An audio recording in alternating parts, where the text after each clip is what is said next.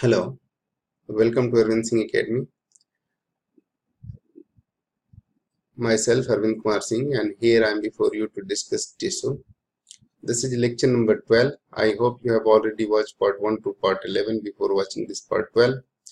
Today we are going to discuss muscular tissue. Muscular tissue is what?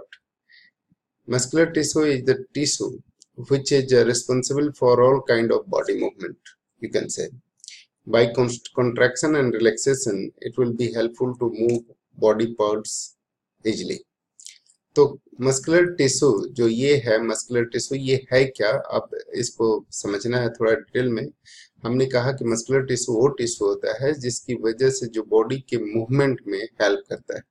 Body की movement में help करता है मतलब इसकी वजह से बॉडी मूव कर पाती है और बॉडी के मूवमेंट में चाहे कॉन्ट्रैक्शन और रिलैक्सेशन की प्रोसेस होती है, जिसकी वजह से मसल मूव करके बॉडी ऑर्गन्स को मूव करने में मदद करता है। तो पहले, सबसे पहले समझते हैं कि मस्कुलर टिश्यू है क्या और ये कितने तरह का होता है। So muscular tissue is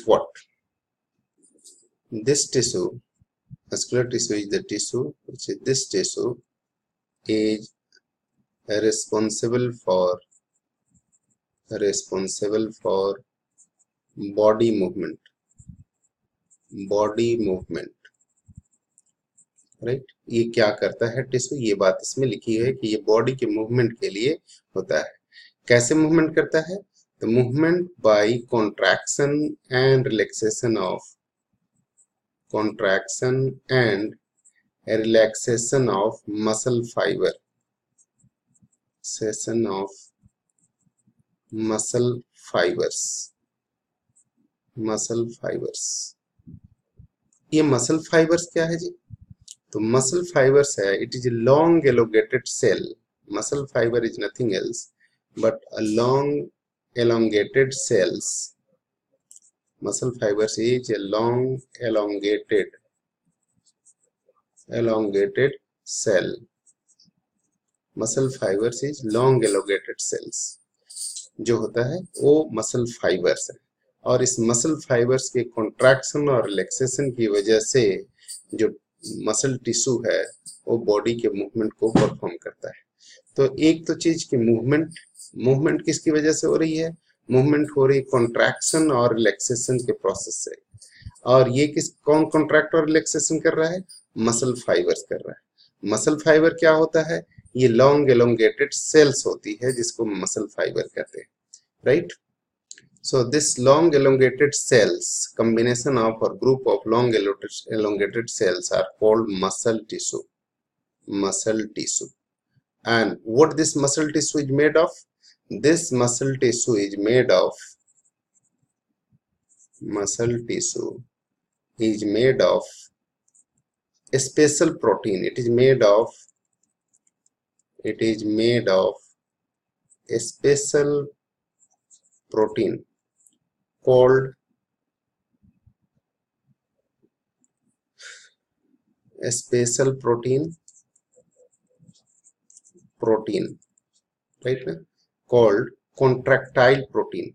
This special protein is called contractile protein contractile protein. ये कॉन्ट्रेक्टाइल ये मसल टिश्यू जो है, ये बना होता है कि स्पेशल प्रोटीन का, और ये प्रोटीन जो होता है, यानी ये सेल्स जो है, वो इस प्रोटीन का बना होता है। ये सेल्स जो है टिश्यू में प्रोटीन होता है, इसका मतलब ये सेल्स जो होते हैं, वो कॉन्ट्रेक्टाइल प्रोटीन का बना होता है और चूँकि ये कॉन्ट्रेक्टाइल प्रोटीन का बना होता है, ये स्पेशल है। स्पेशल क्यों है? क्योंकि इसी प्रोटीन की वजह से contraction and relaxation takes place contraction and relaxation takes place इस प्रोटीन की ही एक कैरेक्टरिस्टिक है कि contraction and relaxation takes place takes place right तो ये कॉन्ट्रैक्शन और रिलैक्सेशन जो में होता है, इसकी वजह से बॉडी में मूवमेंट होती है। तो बेसिकली मसल टिश्यू क्या है? ये लॉन्ग एलोंगेटेड सेल्स होती हैं और ये बॉडी के मूवमेंट के लिए रिस्पॉन्सिबल होता है। और ये किस की वजह से मूवमेंट करता है? किस प्रोसेस से मूवमेंट करता है? क्योंकि कॉन्ट्रैक्शन और रिलैक्सेशन की प्रोसेस होती है। किसकी? मसल फाइबर की। मसल फाइबर किससे बना होता है? लॉन्ग एलोंगेटेड सेल से बना होता है। लॉन्ग एलोकेटेड सेल से बना होता है, ये सेल में क्या है इसी खास बात? क्योंकि इसमें कॉन्ट्रेक्टाइल प्रोटीन होती है। और कॉन्ट्रेक्टाइल प्रोटीन किसकी वजह से होती है? क्योंकि ये एक स्पेसिफिक प्रोटीन है, जिसकी वजह से ये इसमें कॉन्ट्रैक्शन और रिलैक्सेशन होती है।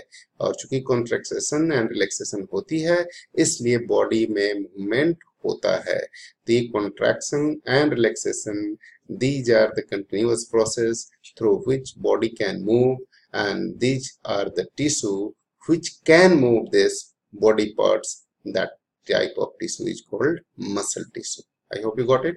तो आइए संक्षेप में कुछ ऐसे मसल टिश्यू को थोड़ा और डिटेल में एनिमेशन के ज़रिए समझने की कोशिश करते हैं। और क्या है ये मसल टिश्यू ये जरा देखते हैं।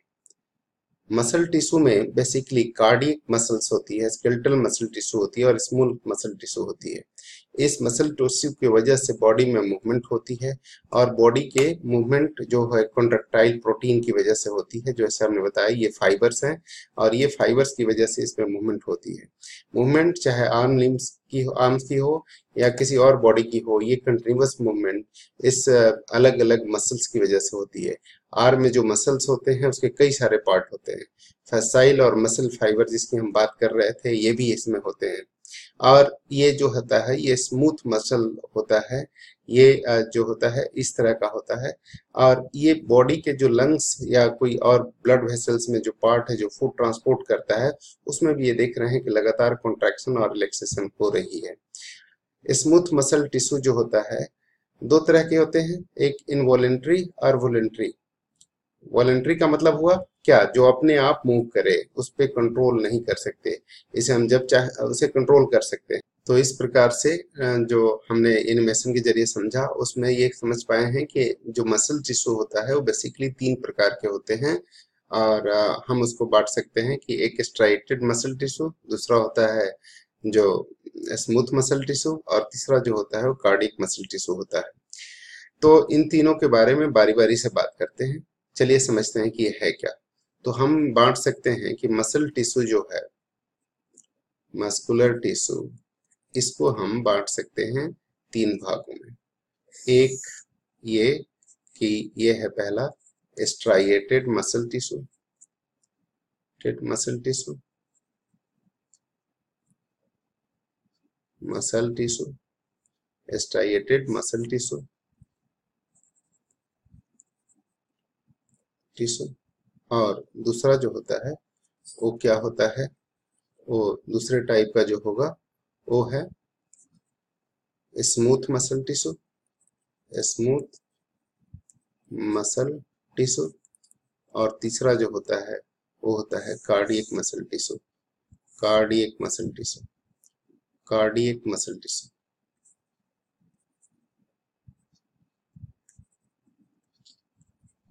muscle tissue right तो ये तीन तरह के मिलनी मसल टिश्यू होते हैं, जिनकी हम चर्चा करेंगे बारी बारी से। एक पहला जो है स्ट्रिएटेड मसल टिश्यू क्या है? स्ट्रिएटेड का मतलब क्या होता है? स्ट्रिएटेड का मतलब होता है धारीदार, यानी लाइनिंग वाली। ऐसी जिसमें स्ट्राइप्स बने हों डार्क और ब्राइट स्ट्राइप्स बने हों, तभी धारी बनेगी। धारी कैसे बनेगी? जब अलग अलग कलर हों और उसकी स्ट्राइप्स हों। तो इस तरह से स्ट्राइटेड मसल टिश्यू को हम वो भी कह सकते हैं कि ये जो स्ट्राइटेड मसल टिश्यू है, इसको जब आप माइक्रोस्कोप में प्रॉपर ली अगर इसको स्टेन कर दिया जाए और उसके बाद इस टिश्यू को देखा जाए तो इसमें इस तरह के स्ट्रक्चर दिखाई देते हैं राइट सो ये जो स्ट्राइपेड स्ट्राइटेड मसल टिश्यू होता है, इसमें स्टेन करने के बाद ये डार्क और लाइट स्ट्राइप्स दिखाता है। और इसको चूँकि स्केल्टल पूरी बनाता है, इसलिए इसको कहते हैं स्केल्टल टिश्यू तो इसका दूसरा नाम हो गया स्केलेटल टिश्यू टल टिश्यू इसको स्केलेटल टिश्यू भी कहते हैं। और चूँकि ये जो है, ऐसा टिश्यू है, जो कि खुद भी जब चाहे आप इसे मूव करा सकते हैं और जब चाहे इसे स्टॉप करा सकते हैं, इसलिए इसको वॉलेंट्री टिश्यू भी कहते हैं। वॉलेंटरी टिश्यू वॉलेंटरी टिश्यू इसे या वॉलेंटरी मसल्स भी कह सकते हैं। ये क्या है कि जब चाहें जैसे हम अपने हाथ को हैं, जैसे चाहें, जब चाहें हम इसको मूव करा सकते हैं, जब चाहें स्टॉप कर सकते हैं। लेकिन ये वॉलेंट्री है और कुछ ऐसी जो है मूवमेंट है जो वॉलेंट्री नहीं है, उसको आप स्टॉप नहीं कर सकते। उसको हम कहेंगे इनवॉलेंट्री जैसे हमारे हार्ट का जो पंप है मसल्स है बार बार कंट्रैक्ट और रिलैक्स हो रहा है पंप पंप ब्लड को पंप करने के लिए, क्या आप चाहें तो इसे रोक सकते हैं? नहीं रोक सकते। ये जिस दिन रुक गया, समझो कि आपका काम हो गया। तो ये रुकना नहीं चाहिए और ये रुकता भी नहीं। ये लाइफ लॉन्ग चलता रहता है। ये इनवॉलेंट्री मसल्स है, इसे हम रोक नहीं सकते। लेकिन जिसे हम रोक सकते हैं, जो मूवमेंट है, जो रोक सकता है, उसको हम कहते हैं वॉलेंट्री टिश्यू और वॉलेंट्री टिश्यू जो होता है ये अपनी बॉडी मूवमेंट के हिसाब से, जैसे हम चलते हैं तो हमारी पैरों की मूवमेंट होती है। हम दौड़ते हैं तो हमारी पैरों की मूवमेंट होती है मसल्स मूव कर रहा है। हम कोई एक्सरसाइज करते हैं तो हमारी मसल्स की मूवमेंट होती है। और हम जब चाहें, उस एक्सरसाइज को स्टॉप भी कर सकते हैं। तो इस तरह से ये वॉलेंट्री मसल्स है, और चूँकि पूरी स्केल्टल में ये फैला हुआ है, पूरा का पूरा शरीर में फैला हुआ है, इसलिए इसे हम कहते हैं स्केल्टल टिश्यू भी कहते हैं। लगभग ये पूरे शरीर में फैला हुआ है, और ये कहाँ मिलता है पूरे शरीर में इसलिए इसको स्केल्टल टिश्यू भी कहते हैं। Where it found, it is found in um, limbs of limbs, limbs, limbs में मिलता है और कहाँ मिलता है? फेस में मिलता है और कहाँ मिलता है? नेक में मिलता है। ये मसल और कहाँ मिलता है? बॉडी वाल पे मिलता है। ये मसल्स एटसेट्रा इन सब जगहों पे ये मिलता है ठीक है ना? तो इन सब जगहों पे ये होता है। अब मसल लिम्स का मतलब ये हो गया कि आप बाइसेप्स ट्राइसेप्स अगर बनाते हैं तो बाइसेप्स ट्राइसेप्स एटसेट्रा जो भी आप बनाते हैं तो उसमें ये मसल्स मिलता है। जैसे लोग बनाते हैं इस तरह का बाइसेप्स तो इसमें भी ये मसल्स मिलता है। तो ये मसल टिश्यू की वजह से ही होता है, ये मूवमेंट होती है। आप देखे होंगे लोगों ने, लोग अपनी अपनी बाइसेप्स बनाते हैं और दिखाते हैं ट्राइसेप्स बनाते हैं और कुछ लोग मल्टीसेप्स भी बनाते हैं। तो ये सारी चीज़ें इसके अंदर दिखती है। तो ये इन सब जगहों पे पाया जाता है। और इसमें चूँकि बहुत रैपिड कॉन्ट्रैक्शन और रिलैक्सेशन होती है इसकी, इसलिए चूँकि rapid contraction and relaxation it has rapid contraction and relaxation. And relax, relaxation takes place, इसलिए इसको बहुत जल्दी थक जाता है। Place so it is, it tired. It get tired. Gets tired. Right? और इसे रेस्ट की ज़रूरत है. And need rest and need rest आप जब दौड़ते हैं तो आप थोड़ी देर में थक जाते हैं। थक जाते हैं तो फिर आपको आराम की ज़रूरत होती है। आप जब एक्सरसाइज करते हैं तब भी आप थक जाते हैं। थक जाते हैं तो आपको आराम की ज़रूरत होती है। क्योंकि इसमें इतना रैपिड कॉन्ट्रैक्शन और रिलैक्सेशन होता है कि ये मसल्स थक जाता है और ये मसल्स थक जाने की वजह से ये इनको आराम देना ज़रूरी होता है। ठीक है? तो it provides provides force of locomotion force for locomotion locomotion force for locomotion right force for locomotion and other voluntary movement other voluntary movement इन सब के लिए ये प्रोवाइड करता है ये इसका काम है। इसके ज़रिए रैपिड कंस्ट्रक्शन और रिलैक्सेशन होती है, जिससे आप लोकोमोशन लोकोमोशन का मतलब क्या होता है? एक जगह से दूसरी जगह जाना। तो एक जगह से दूसरी जगह जाने का काम हम इसी की वजह से कर पाते हैं और इसमें जो अदर वॉलेंट्री मूवमेंट होती है, किसी को गुस्सा मार दिया, किसी का नाक तोड़ दिया, खुद अपनी हाथ तोड़ लिया, मरोड़ लिया, घुमा लिया, ये कर लिया, वो कर लिया, ये सारे इसी की वजह से होते हैं।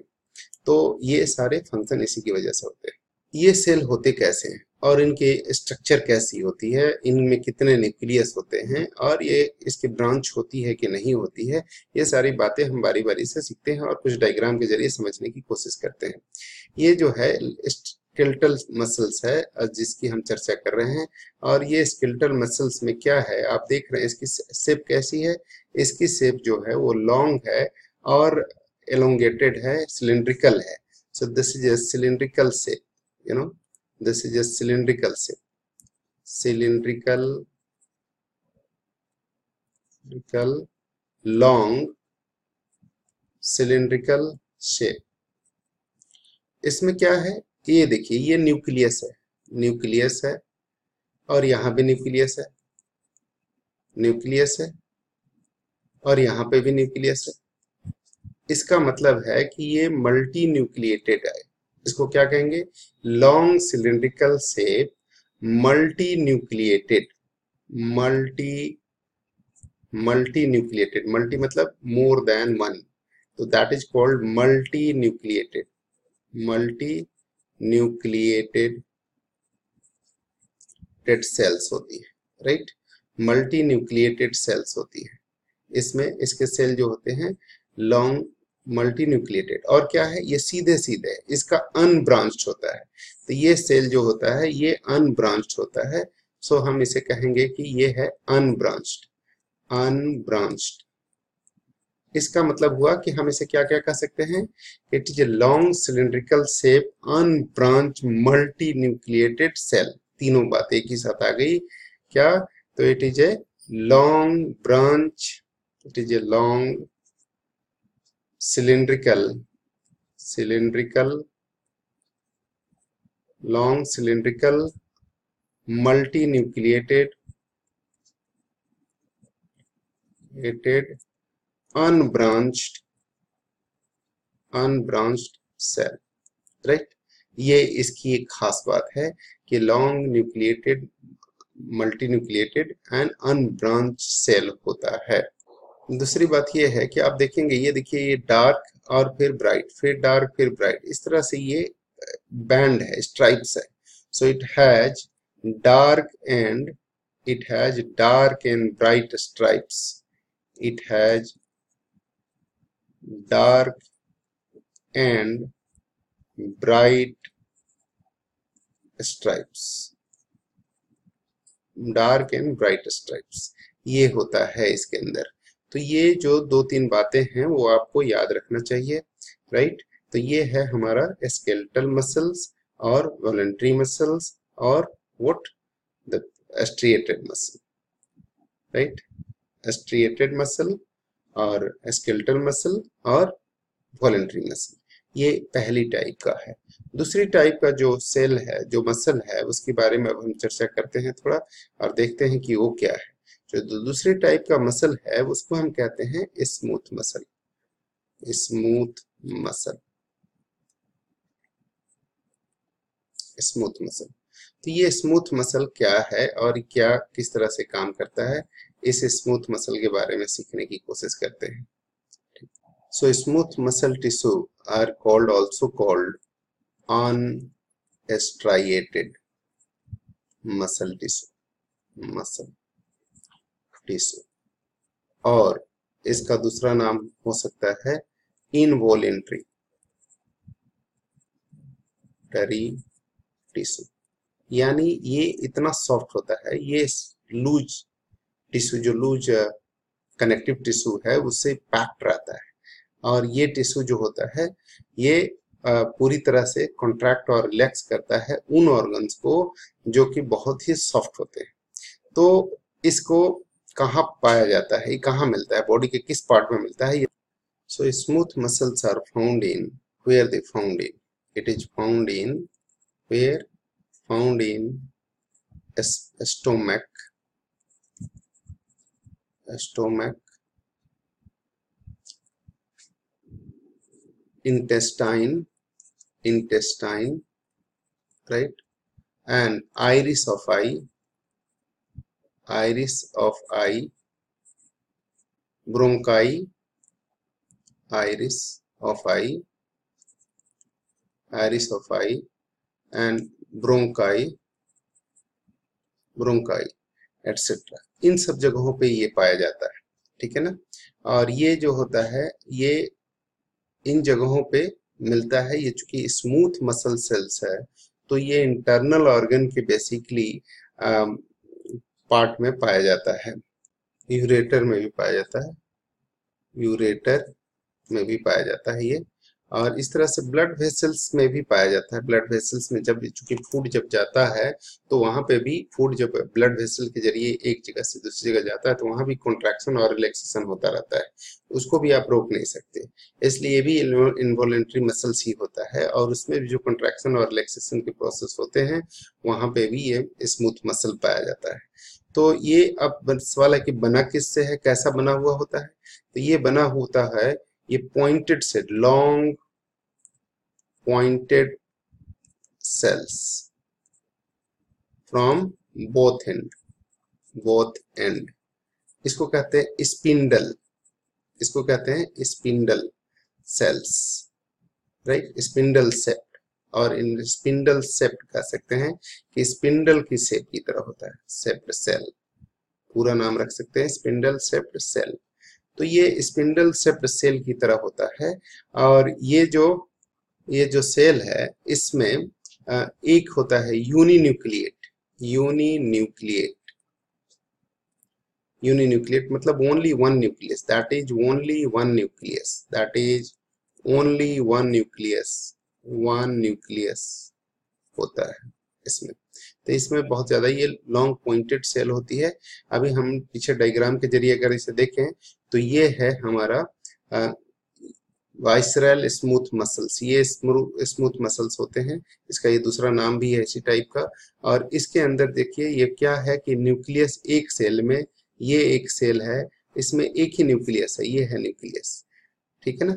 तो ये एक सेल में एक ही न्यूक्लियस है। ये न्यूक्लियस है।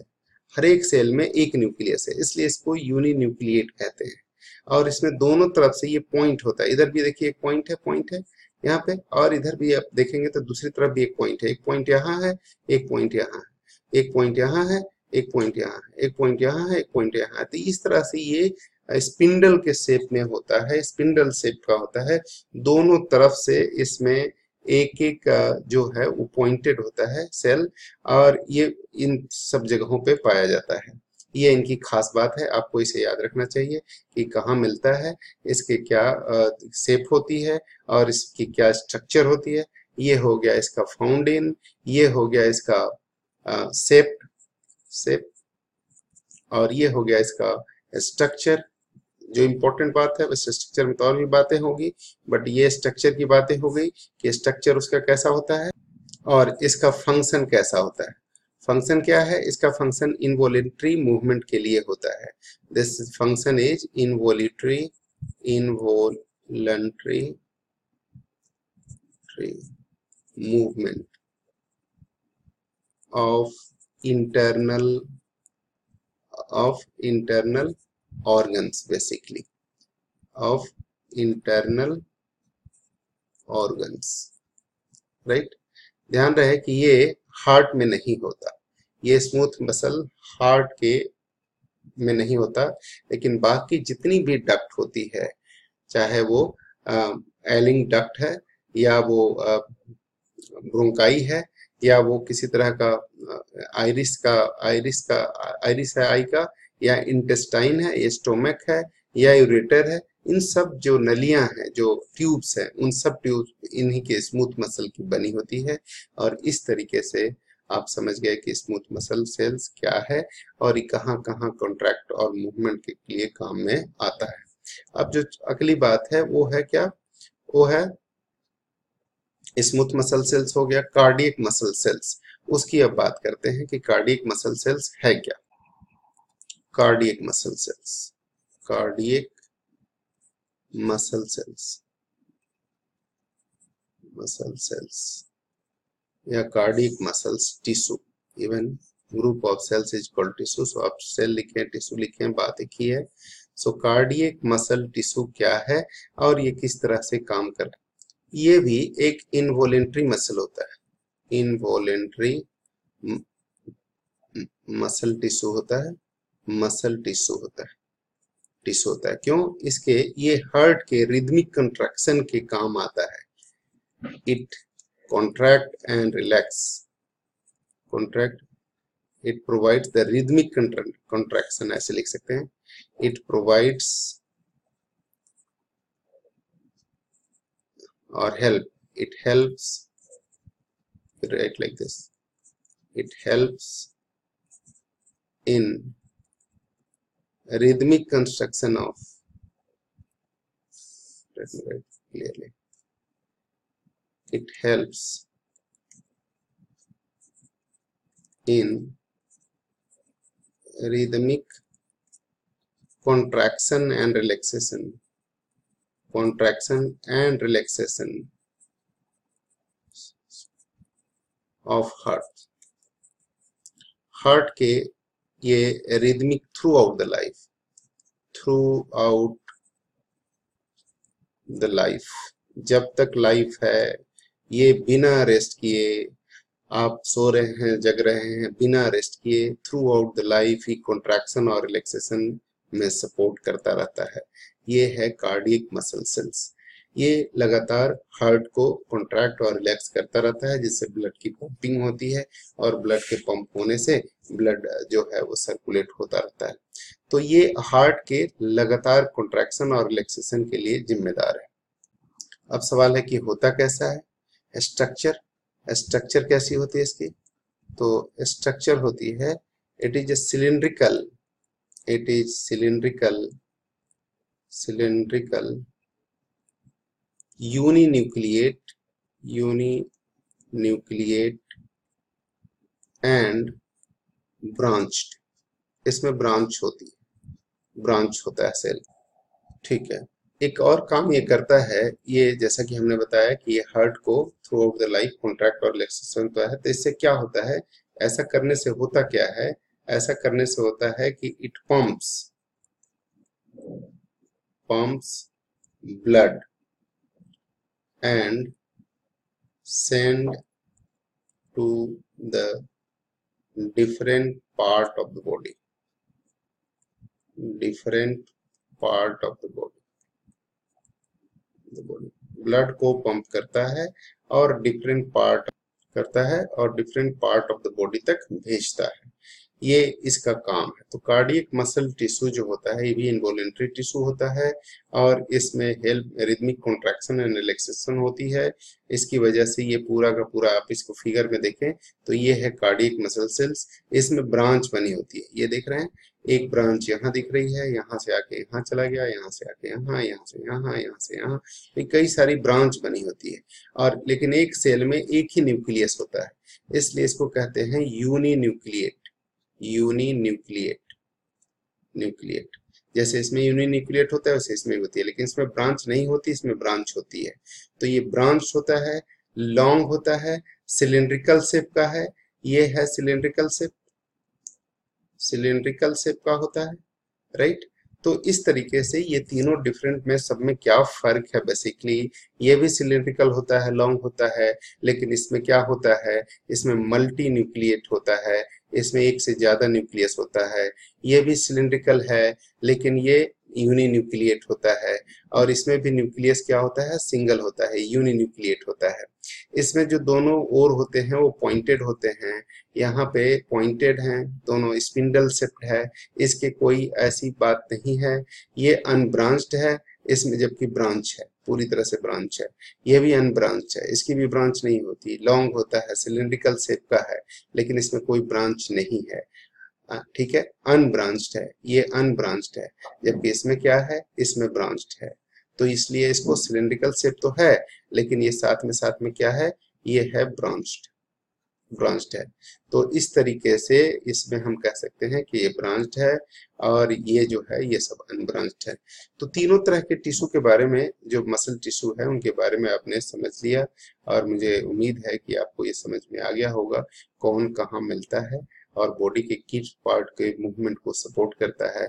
I hope you got it and uh, hopefully you will be able to understand this that what is the muscle tissue and how it helps us to uh, move the different part of the body and what the different type of muscle tissue are and where they found, what are their structure and how they help in functioning or movement of our body, different part of the body. So I hope you got it. That's all in this lecture. Thank you very much. Keep watching our channel. God bless you and subscribe, do subscribe our channel and uh, so that you will be able to get the regular basis on regular basis the new um, videos of our um, academy so thank you. Thank you very much. God bless